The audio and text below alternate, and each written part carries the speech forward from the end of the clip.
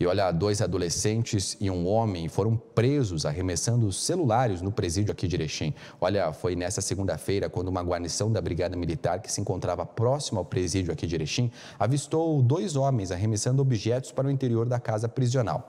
Prontamente, a dupla foi abordada, né? Sendo constatados que ambos eram dois menores. Os objetos foram apreendidos, sendo eles três porções de maconha e um aparelho celular, além de um carregador de celular. O veículo utilizado por eles, um modelo Fiat Uno, fugiu do local, sendo realizado de imediato um cerco policial. O carro só conseguiu ser abordado na RS 135 próximo a Sertão, hein?